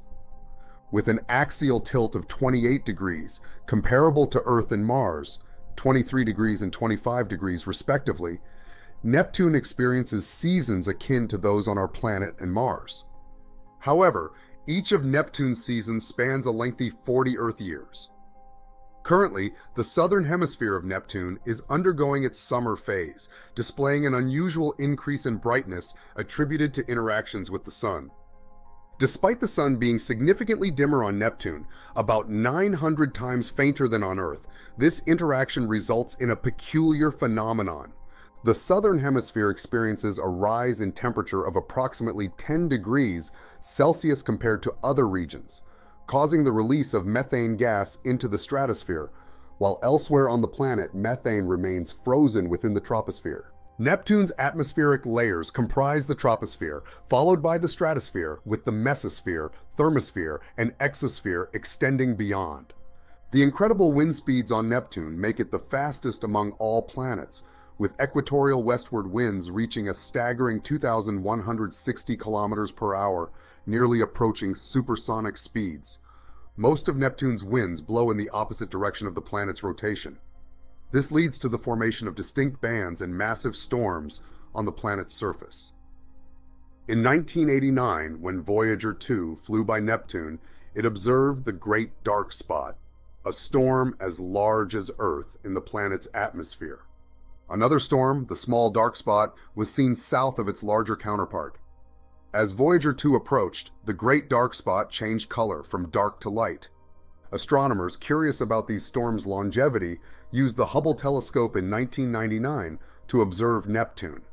Surprisingly, these storms had vanished, with new storms appearing intermittently. Additionally, large bright clouds at high altitudes were observed to appear and vanish. The contrast in atmospheric activity between Neptune and Uranus despite their similar composition and size, raises questions. While Uranus experiences fast winds, they don't match the intensity of Neptune's winds at 900 kilometers per hour. This disparity can't solely be attributed to interactions with the Sun or seasonal changes. Despite Neptune being farther from the Sun, Uranus holds the title of the coldest planet in our solar system. The difference might stem from their internal heat. Neptune emits heat from within, whereas Uranus lacks significant excess heat, possibly due to a collision billions of years ago depleting its primordial heat. This discrepancy in internal heat might explain Neptune's more active weather patterns. Let's take a look at the materials that form Neptune. Its inner structure and atmosphere closely resemble those of Uranus. Its atmosphere is primarily composed of 80% hydrogen, 19% helium, and traces of methane. This methane contributes to Neptune's distinct blue hue, although darker than Uranus's cyan shade. Neptune has a liquid mantle comprising water, ammonia, and methane ice enveloping its core. The intense pressure at their juncture might cause methane to break down, forming diamonds under extreme conditions. These diamonds might not resemble those we commonly know, possibly existing as solid diamond formations in a liquid carbon ocean or even raining down within the mantle like hailstones. Estimates suggest immense pressure around Neptune's core, approximately 7 million times greater than Earth's surface atmosphere. Neptune's magnetic field, akin to Uranus's, deviates by 47 degrees from its rotational axis. Initially thought to link to Uranus's unusual axial tilt, this theory faltered when the same was observed in Neptune, which maintains a more standard axial tilt. The current explanation is that the magnetic field may not originate from the core, but possibly emerges from a conductive liquid mantle or gets redirected by the mantle, leading to this peculiar offset relative to the rotational axis. In our solar system, planetary magnetic fields don't align perfectly. Even Earth's magnetic north differs from the geographic North Pole. However, Uranus and Neptune stand out with their significantly tilted magnetospheres. Neptunian auroras exist, but appear faint due to minimal solar particle charging, and the magnetosphere's orientation, primarily manifesting as type B auroras or SAR arcs. Contrary to typical expectations, Earth experiences similar phenomena, although they remain invisible to the naked eye, requiring scientific instruments for detection. SAR arcs distinguish themselves by their location. Unlike polar aurorae, they occur around mid-latitudes rather than the poles. Now, stepping back from Neptune, let's delve into its ring system. Similar to other gas giants, Neptune has a ring system, albeit faint due to its low density and dark color. Because of their faintness, distance from the Sun, and backdrop of space, these rings are challenging to observe. There are five known rings, each named after individuals involved in Neptune's discovery and research. Starting with the innermost Galle ring spans 2,000 kilometers, faint yet quite wide. Following is the Le Verrier, the first bright ring, only 113 kilometers wide. Connected to it is the Lassell ring, a faint band spanning 4,000 kilometers. On the outer edge lies the Arago ring, slightly brighter and less than 100 kilometers wide. Finally, the outermost and most extensively studied Adams ring is merely 35 kilometers wide, but notably bright. It holds interest due to its slight inclination and the presence of bright arcs within it, which have remained stable since their discovery in 1980.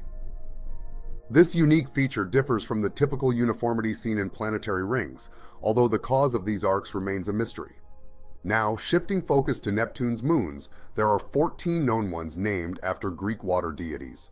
The largest, Triton, carries most of the collective mass of Neptune's moons. Triton stands out for its captivating burnt orange hue and intricate patterns. Notably, its retrograde orbit and inclination toward Neptune's rotation suggest it might have been captured rather than forming alongside Neptune. Triton's presence might have disrupted other moons' orbits, potentially causing collisions and leading to the creation of Neptune's rings. Another significant moon Proteus surpasses Saturn's Mimas in size at 400 kilometers across, despite not being spherical due to past collisions resulting in colossal craters. Neptune's moons consist of inner regular ones orbiting the rings, some acting as shepherd moons, and outer irregular moons likely captured from elsewhere. The farthest moons, Psamathe and Neso, have the longest orbital period among planetary satellites, taking 25 years to orbit Neptune once, owing to Neptune's vast hill sphere, the region where its gravity prevails over the Sun's influence. Today, join me on an expedition to discover the wonders of Pluto. Now, you might remember Pluto as the ninth planet, but in 2006, it got a cosmic demotion and is now called a dwarf planet. That shift caused quite a stir, shaking up what we knew about our solar system. But even though it lost its planet tag, Pluto's still a star in its own right, chilling way out there, teaching us loads about what it means to be a planet. So stick around because we're diving into Pluto's journey from the ninth planet to dwarf planet and why it's still one fascinating space neighbor. We are exploring Pluto's wonders. Pluto, positioned approximately 40 times farther from the Sun than Earth, orbits the solar system center every 248 years in an elongated path. Its small radius of 1,188 kilometers makes it notably smaller than all planets and even some moons, including our own. Despite its mass being a mere 1.3 times 10 to the power of 22 kilograms, about 1 18th of our moon's mass, Pluto shares similarities with smaller celestial bodies like Ceres or Sedna. This classification led to its designation as a dwarf planet in 2006. Due to its elongated orbit, this distant object experiences a lengthy orbital cycle, reaching its closest point, perihelion, to the Sun at 29.7 astronomical units in 1989. However, it will hit its farthest point, the aphelion, at 49.3 astronomical units in 2113. Because of its extreme distance and dimness, Pluto remains invisible to the naked eye and appears as a murky brown disk, lacking surface details even in Hubble Space Telescope images. The New Horizons uncrewed station embarked on a mission in 2006, taking 9.5 years to reach Pluto. It transmitted over 6 gigabytes of data and captured around 400 observations during its 2015 flybys. Unfortunately, due to its trajectory, New Horizons couldn't photograph the entire surface, but circled around to explore other celestial bodies. Regarding its structure, current models suggest Pluto possesses a substantial core, roughly 1,700 kilometers in diameter, composed of ice and rocks. Enveloping this core is a 300 kilometer ice mantle, possibly undergoing tectonic activity that remains relatively unstudied. A surface crust of crystallized gases, nitrogen, methane, and carbon monoxide, caps the mantle. Some theories suggest that Pluto's core produces enough heat to melt parts of the icy mantle beneath its surface. This might create a deep, salty, and hazardous ocean containing lots of dissolved ammonia. The planetoid's surface temperature is frigid, not surpassing 60 Kelvin or negative 213 degrees Celsius. Now, let's continue our exploration of Pluto with one of its most notable features, the Tombaugh Regio. This expansive region sits along the equator, resembling a heart-shaped sketch. Covering about a quarter of Pluto's surface with a size of 2,300 kilometers, the Tombaugh Regio isn't uniform. Its western part, Sputnik Planitia, spans 1,492 kilometers and appears smooth, lowland. Sputnik Planitia is coated in nitrogen ice, carbon monoxide, and solid methane. These substances give it a light hue, reflecting up to 90% of the incoming light. Surprisingly, it lacks many craters, indicating its relative youth in geological terms. One widely accepted idea suggests that Sputnik Planitia formed around 100 million years ago after a colossal collision with another celestial body. This impact created a massive crater filled with material from Pluto's hypothetical inner ocean, which promptly froze. The terrain's features, like smooth areas bordered by hills and depressions, resemble convection cells seen in heated fluids. This suggests clues about the frozen ocean's behavior under extreme conditions. This provides evidence supporting the theory of Pluto having a warm interior. Tombaugh Regio is encircled by notably high mountain ranges, with Hillary Montes situated to the west of Sputnik Planitia and reaching heights of about three and a half kilometers. These mountains, known as Tenzing Montes, are positioned in the southern area of the heart of Pluto. Some of these peaks soar over 6 kilometers above the dwarf planet's average surface level, making this ridge the tallest one discovered on Pluto. Remarkably, these formations are predominantly composed of water ice, which under the extreme cold temperatures of Pluto becomes as solid as rock. Moving southward reveals a profound basin surrounded by substantial, layered ridges of ice and rock. This area is speculated to be the outlet of an ancient cryovolcano, with the adjacent rock formations believed to be frozen residues from its eruptions. Understanding the chemical composition of these formations is crucial for scientific exploration, as it offers insights into Pluto's internal structure. The eastern segment of Tombaugh Regio appears darker and is marked by numerous craters, suggesting it is significantly older than Sputnik Planitia. As we venture eastward along the equator of Pluto, we encounter a series of significant dark spots known as maculas. These expansive features, some hundreds of kilometers wide, derive their names from various dark deities across cultures. One such macula is named Balrog. Collectively, these maculas create a colossal formation known as the Brass Knuckles, encircling the celestial body along its equator. Separated by towering mountain ranges, these maculas exhibit surfaces marred by extensive crevices, some stretching hundreds of kilometers. The most prominent, Cthulhu Macula, extends westward from Tombaugh Regio, spanning nearly 3,000 kilometers. Reflecting a mere 30% of the incident light, it presents a striking contrast to the nearby bright and luminous Sputnik Planitia. While the precise nature of these maculas remains elusive, it is hypothesized that their dark hue stems from a high concentration of tholin and numerous impact craters. This suggests their remarkable age. Cthulhu Macula's surface is diverse, featuring undulating relief in the western part, a smooth plain in the central region, and an eastern section adorned with mountains and craters.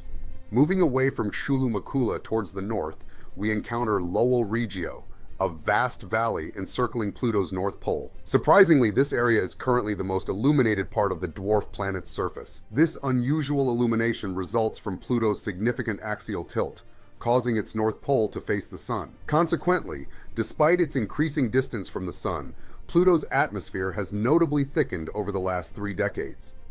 Solar rays are suspected to evaporate nitrogen ice, concentrating at the poles and contributing to the planet's atmosphere. Pluto's orbital dynamics set it apart from other solar system planets. Apart from its considerable tilt concerning the ecliptic plane, Pluto experiences cyclic oscillations near a specific point in its orbit due to the gravitational influence of its large satellite, Charon. With a mass of 1.52 times 10 to the power of 21 kilograms, approximately 11% that of Pluto, Charon creates a shared center of mass between the two bodies, resulting in tidal locking. Consequently, both Pluto and Charon always present the same sides to each other. Like Pluto, Charon's surface exhibits significant darkness and showcases abundant water ice mixed with methane and nitrogen in select regions.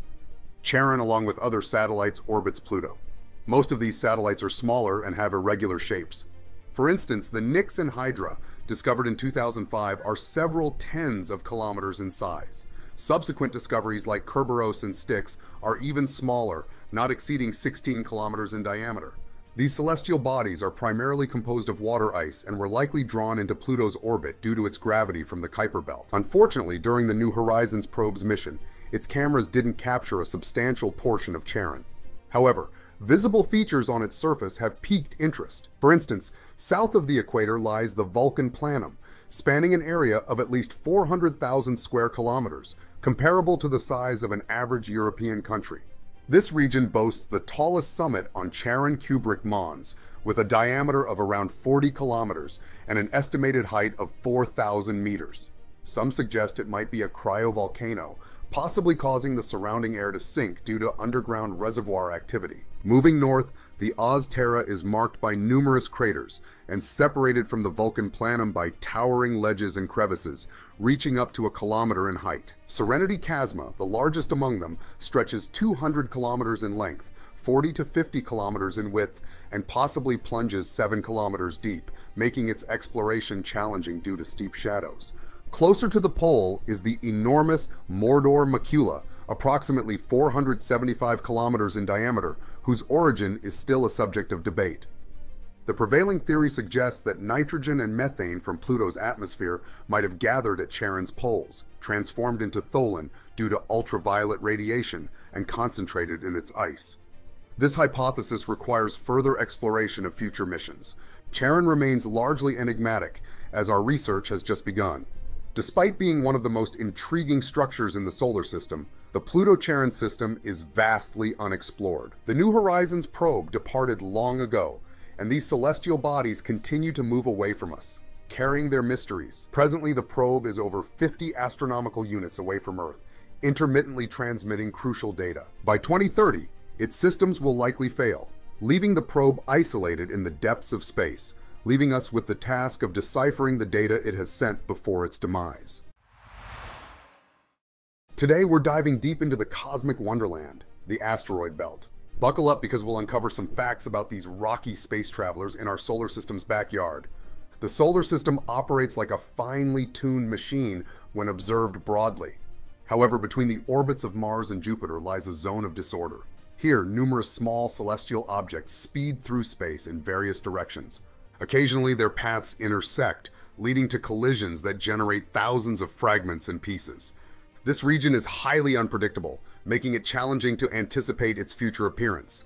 This space is known as the asteroid belt and is one of our solar system's most unpredictable and enigmatic areas. We are exploring the asteroid belt. More than 300,000 small celestial bodies in this region have been officially named and given specific labels. Remarkably, their total count might exceed 1 million. The exploration of the asteroid belt traces back to the 18th century when astronomers first noticed a puzzling object in the sky. This sighting came after an extensive search for the fifth planet. This celestial body seemed to possess planetary qualities. Still, it was so minuscule that even the most cutting-edge telescopes of that era couldn't distinguish its disk. According to researchers, this newfound object resembled a luminous dot like a star named Ceres. Soon after, astronomers identified similar celestial bodies, prompting the need for a new term to describe them. These peculiar astronomical objects were termed asteroids, meaning star-like. Beyond asteroids, this solar system area is abundant in cosmic dust. As these minute particles orbit, they scatter sunlight, creating a subtle, pale glow known as the zodiacal light. In equatorial regions of the Earth, observing something interesting with the naked eye is possible.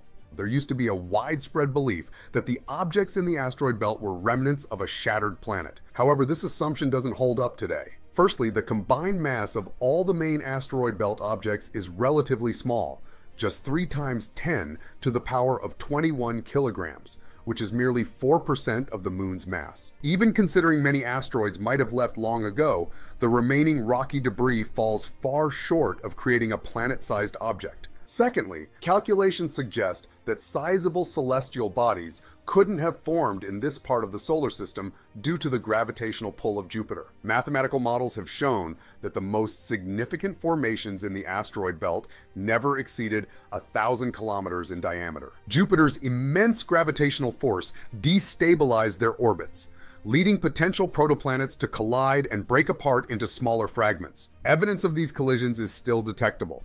Most objects in the main belt cluster together to form asteroid families, groups of asteroids with similar compositions and origins. These families likely emerged from these destructive collisions. The main asteroid belt lacks precise boundaries, primarily spanning from 2.06 to 3.27 astronomical units from the Sun. These limits, known as Kirkwood gaps, are influenced by Jupiter's gravitational pull, leading to fewer celestial objects within these zones. Interestingly, these gaps exist at the belt's edges and within, with two significant gaps at 2.5 to 2.8 astronomical units, demarcating the belt's inner and outer regions. Ceres, the largest object in this area, boasts a diameter of around 940 kilometers and contributes substantially to the belt's mass orbiting between 2.5 and 2.9 astronomical units from the Sun. At its closest point, Ceres experiences temperatures dropping to 239 Kelvin. However,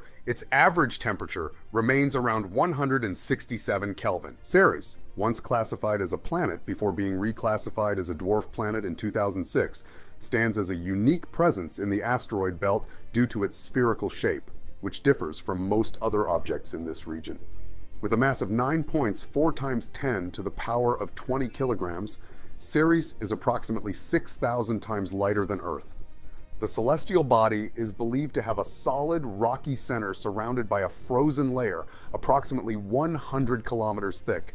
Nearly half of its volume, or around 20 to 30% of its mass, is water ice. This body is Vesta, residing in the inner region of the asteroid belt, and it holds the title of the largest and most massive known asteroid in our solar system. Measuring roughly 525 kilometers in diameter and having a mass of about 2 points 6 times 10 to the power of 20 kilograms. Vesta follows an elliptical orbit around the Sun, with its farthest point, aphelion, at 2.57 astronomical units and its closest point, perihelion, at around 2.15 astronomical units. It completes a full orbit in 3 to 6 Earth years. Vesta's visibility to the naked eye sets it apart, owing to its substantial size and reflective surface, which reflects about 42% of the light it receives. The distance between Vesta and Earth is approximately 177 million kilometers, or 1.18 astronomical units. Scientists theorize that Vesta has a composition akin to a fully formed planet with a metallic core primarily consisting of nickel and iron, along with a rocky mantle. Its surface temperature fluctuates between negative 190 and minus 20 degrees Celsius, though it was warmer in the past. Distinctive dark areas observed on Vesta's surface, mainly in its western hemisphere, are likely to be basalt plains due to volcanic activity or collisions with large celestial bodies. The asteroid showcases a remarkable geological phenomenon, the enormous impact crater Rhea Silvia. This vast crater stretches across an astonishing 500 kilometers in diameter. It plunges to depths of approximately 25,000 meters. The solar system's second largest mountain is nested within this crater, towering over 22 kilometers high. What's striking is how this crater's size nearly matches Vesta's, hinting at a massive collision in the asteroid's history. This colossal impact created Rhea Silvia and generated numerous smaller fragments, now identified as the Vesta's asteroid family. This family encompasses over 15,000 objects, making up about 5% of all celestial bodies in the main belt, acknowledged by modern science. Experts suggest that most asteroid families result from catastrophic collisions among significant celestial bodies. These debris pieces are sometimes drawn together by gravitational forces, often forming a new astronomical entity. However, this fresh formation may lose its solid structure, occasionally termed rubble piles. For instance, Sylvia, among the largest objects in the asteroid belt, appears to fit this description. Sylvia's dimensions are measured at 384 by 262 by 232 kilometers, with a mass equivalent to 1.5 times 10 to the 19th kilogram.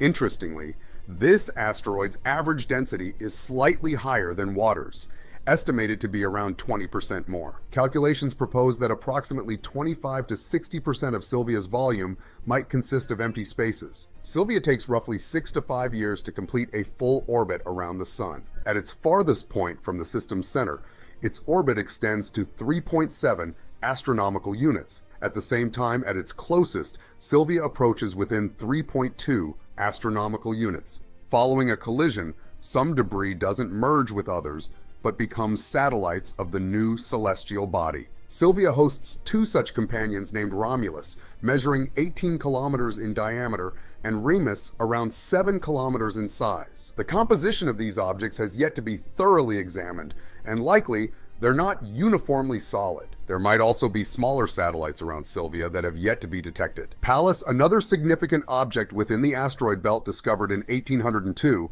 is the second largest asteroid following Ceres. Its diameter averages around 512 kilometers, with a mass approximately 25% less than Vesta's. Pallas's orbit is notably elongated and tilted at 35 degrees to the ecliptic plane, posing challenges for probe-based studies. Its orbit spans roughly 4.6 years, and its distance from the system's center undergoes substantial changes, ranging between 2.1 and 3.4 astronomical units. The Pallas surface displays abundant craters, surpassing even the larger asteroids like Ceres and Vesta. Research suggests it primarily consists of silicate rocks with hints of iron and water, akin to Vesta.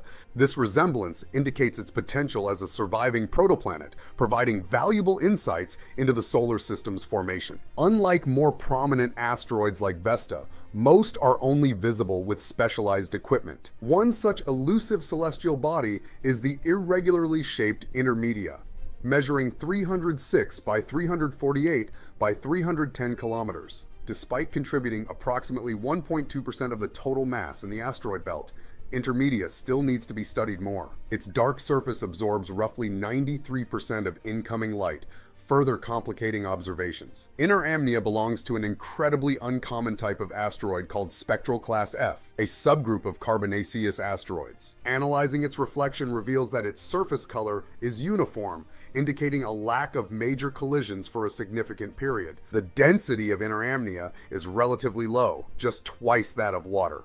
Scientists suspect it consists of a solid rocky center covered by a thick layer of ice, with its surface coated in substantial quantities of fine dark dust. This asteroid takes about five years and four months to complete an orbit around the Sun, residing on the opposite side of the four most prominent objects in the main belt. Its distance from the Sun fluctuates between 2.5 and 3.5 astronomical units. While its orbit intersects with significant bodies like Ceres and Pallas, the likelihood of collisions between them is minimal. The main asteroid belt comprises millions of objects, ranging from dwarf planets to small meteoroids.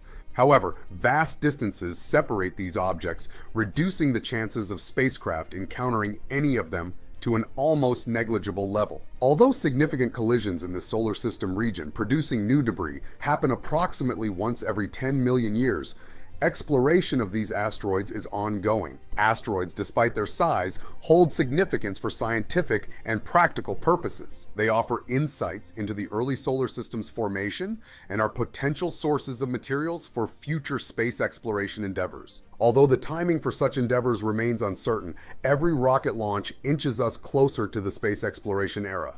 Thanks for joining me on this exploration of the asteroid belt. Today, we're diving into the incredible Kuiper Belt. The Kuiper is a part of our solar system that's reshaped how we understand space.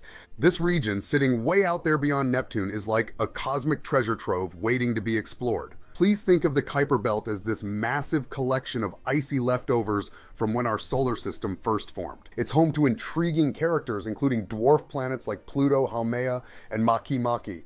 But that's just the tip of the cosmic iceberg. The Kuiper Belt stands as a vast, disc shaped region in the outer reaches of our solar system, extending from Neptune's orbit approximately 30 astronomical units to around 50 AU away. Picture it as an extensive counterpart to the asteroid belt, yet notably more significant, spanning 20 times the width and possessing 20 to 200 times more mass. Unlike the rocky composition of asteroids, the Kuiper Belt predominantly comprises icy remnants from the solar system's formation, housing frozen volatiles like methane, ammonia, and water. Notably, this belt hosts three officially recognized dwarf planets, Pluto, Haumea, and Makemake, along with potential origins for some of the moons in our solar system, such as Triton and Phoebe. Consider the Kuiper Belt as the outer frontier of our solar system, comprising tangible objects within our reach.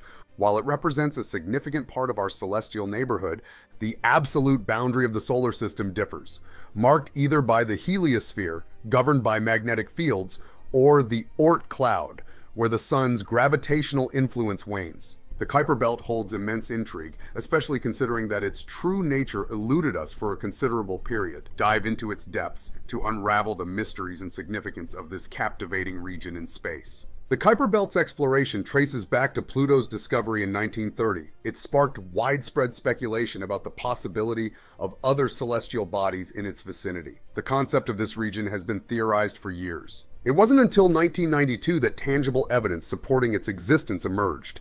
Prior conjectures about its nature had caused ongoing uncertainty regarding the true originator of the idea. The initial inkling about a trans-Neptunian population was proposed by Frederick C. Leonard shortly after Pluto's discovery. He wondered whether Pluto was the first among a series of undiscovered ultra-Neptunian bodies. Simultaneously, astronomer Armin O. Leuschner also suggested the potential existence of numerous long-period planetary objects, of which Pluto might be one. The discovery of Pluto was anticipated to be a definitive find, prompting deeper investigations into the planet. However, it raised questions about whether it revealed everything about its surrounding region. In 1943, Kenneth Edgeworth hypothesized that beyond Neptune, the primordial solar nebula's material couldn't coalesce into planets, but instead formed numerous smaller bodies. He proposed that these bodies, occasionally venturing into the inner solar system as comets, inhabited the outer solar system.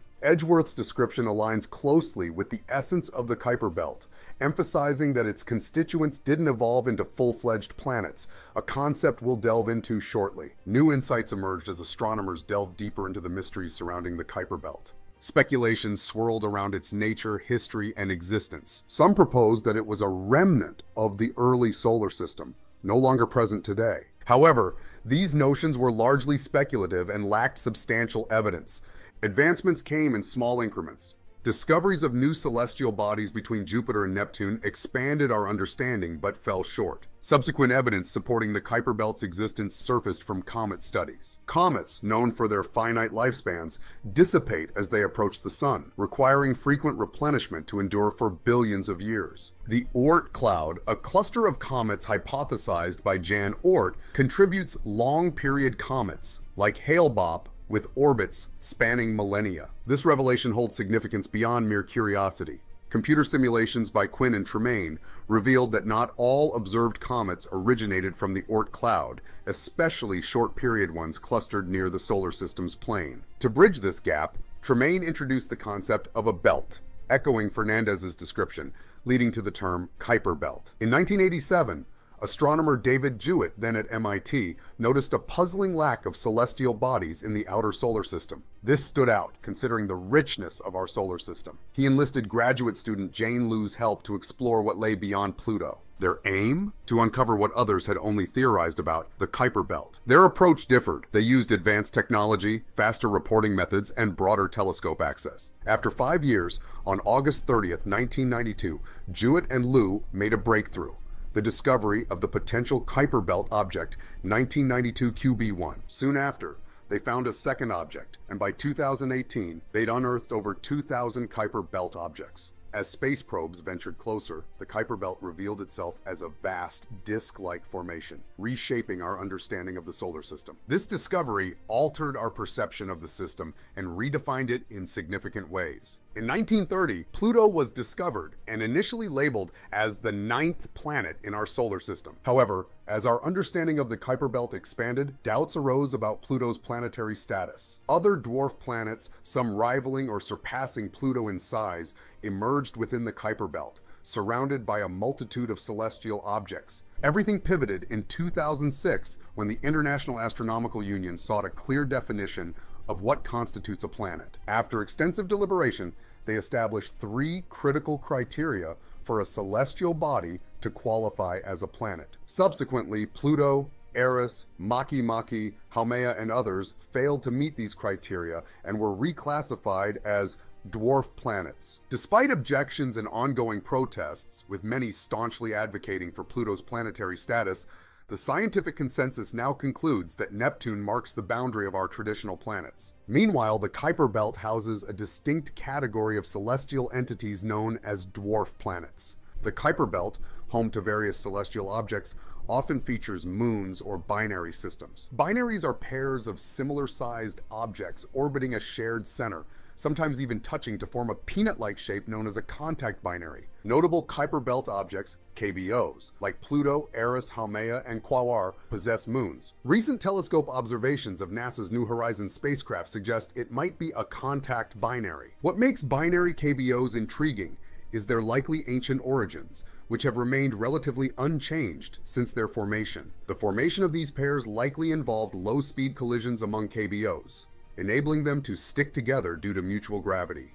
In the past, when KBOs followed more circular orbits closer to the planet plane, ecliptic, such collisions were more frequent. Due to varied orbits, collisions are rarer and often more destructive. The Kuiper Belt, a remote area beyond Neptune, witnessed its initial exploration with NASA's Pioneer 10 spacecraft in 1983. However, the first close encounter with an object in this belt occurred in July of 2015 when NASA's New Horizons spacecraft flew past Pluto and its moons. On January 1st, 2019, New Horizons achieved another milestone by successfully flying by Arrokoth, a celestial body in the Kuiper Belt. The data returned revealed Arrokoth to be a contact binary, measuring 32 kilometers in length and 16 kilometers in width. The onboard Ralph instrument on New Horizons confirmed Arrokoth's red color, providing valuable information about its composition. The information gathered during this flyby will continue to be transmitted over the next 20 months. Presently, no plans are underway to dispatch another mission to explore the Kuiper Belt. After Pluto was reclassified as a dwarf planet,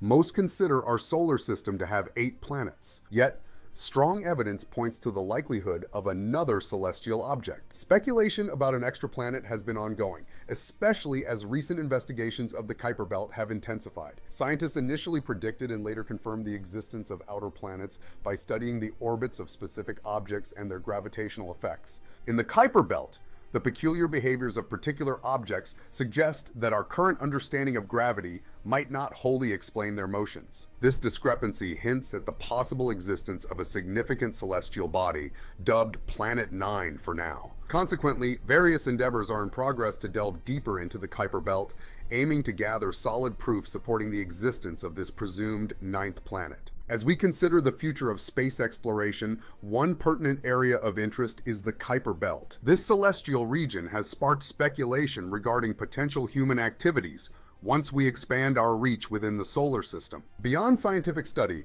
discussions have arisen about extracting resources from the larger celestial bodies in this belt. Another concept revolves around establishing stations on the dwarf planets within this vast expanse. The expansive size and depth of the Kuiper Belt offer numerous possibilities for exploration and utilization. We're diving into the incredible mysteries of the Oort cloud. We're talking about a massive icy zone way beyond Pluto, where trillions of objects dance in the vastness of interstellar space. Stick around because we're exploring everything from the wild comets that journey thousands of years to reach us to the mind boggling distances these celestial wanderers travel.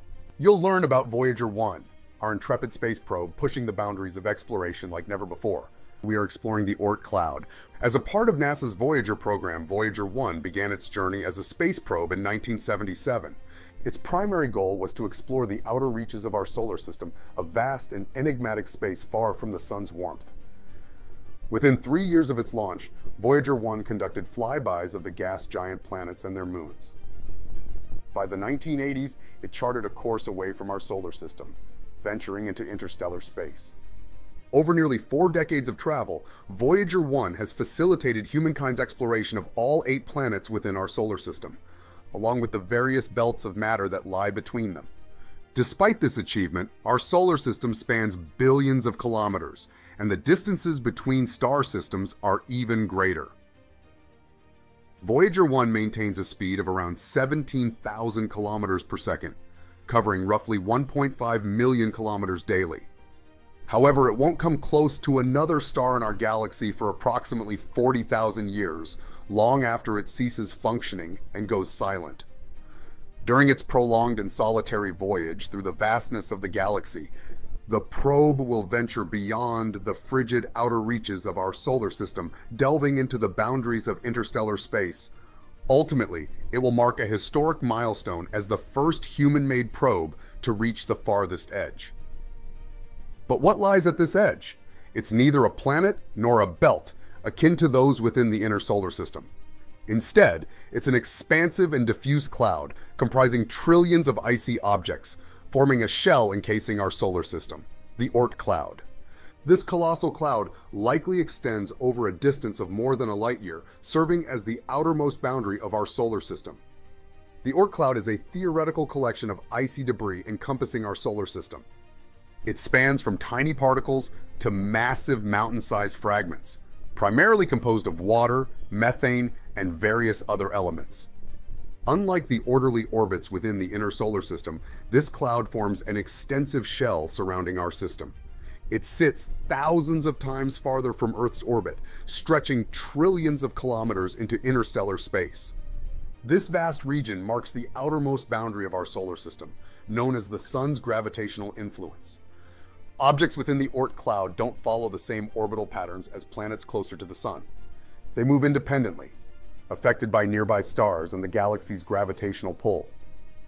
While no definitive objects have been spotted here, this cloud likely houses the distant comets observed as they enter our solar system.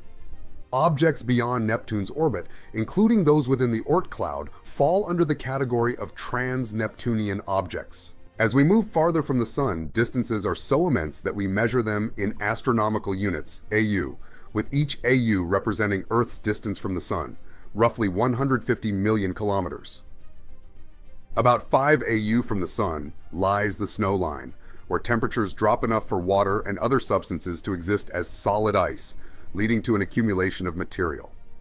Neptune orbits at roughly 30 AU, and beyond it lies the Kuiper Belt, a vast disk of ice and rock remnants from the early solar system, forming a thick, spinning donut shape.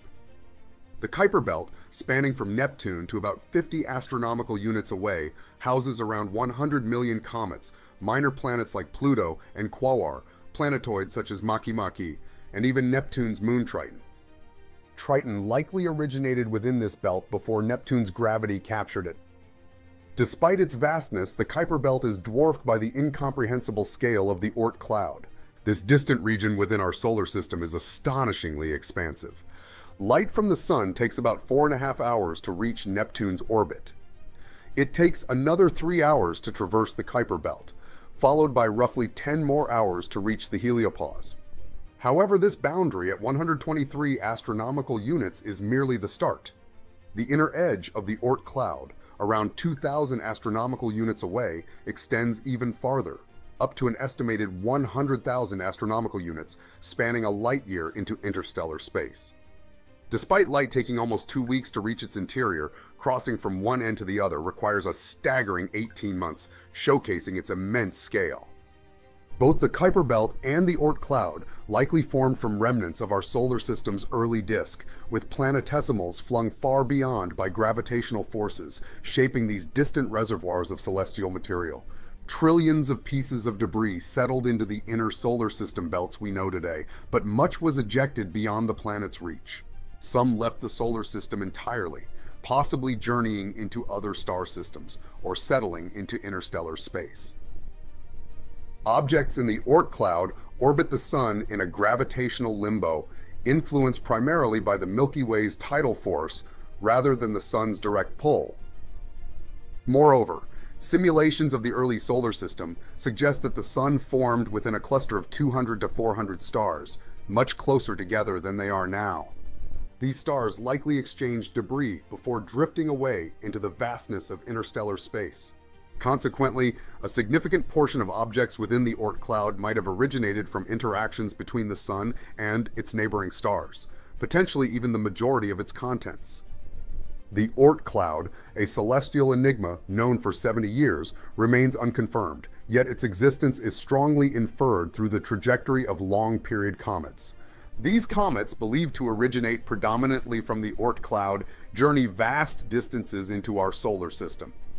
Composed of rock and ice, these comets begin their journey from the solar system's outer reaches, and as they approach the sun, the surface ice vaporizes, forming a distinct trailing coma. Comets fall into two main types based on their orbits. Short period comets, circling within 10 astronomical units from the sun, often originating from the Kuiper belt or scattered disk, long period comets take over 200 years to complete their orbits, making their appearances rare and their origins more mysterious. Ernst Öpik and Jan Oort proposed theories in the 1930s and 1950s suggesting a vast comet reservoir of about 20,000 astronomical units from the Sun as the source of these enduring comets. Oort's observations hinted at this reservoir's spherical nature, distinct from the band-like Kuiper belt, adding to the enigma of the Oort cloud's role as a source of these captivating celestial wanderers. Named after Jan Oort, the Oort cloud consists of a large spherical outer shell and a smaller disc-shaped section known as the Hills cloud or inner Oort cloud. The Hills cloud, starting around 2,000 astronomical units and potentially extending much farther, holds the highest concentration of comets in our solar system, estimated to be at least five times more than the outer Oort cloud. Comets from the Hills cloud are regularly nudged out by gravitational forces, replenishing the outer cloud and ensuring a continuous supply of comets. The Hills cloud, believed to be replenished by the scattered disk, is a probable source for comets reaching the distant Oort cloud. While Sedna, a sizable celestial body similar in composition to Pluto and discovered in 2003, orbits in an extraordinarily elongated path potentially associated with the Hills cloud due to its peculiar orbit stretching far beyond typical scattered disk objects. Meanwhile, the outer Oort cloud, holding an estimated 2 trillion objects, presents a challenging detection prospect due to its vastness. Its mass, approximately five times that of Earth, spans an extensive area, making identifying faint, small objects within it particularly difficult. External influences, such as passing stars or the Milky Way's tidal force, occasionally disrupt these objects, causing some to become visible as comets, as observed with instances like comet sighting Spring in 2019 and the well-documented comet Hale-Bopp discovered in 1995. They are shedding light on their elemental compositions and migration paths within the solar system.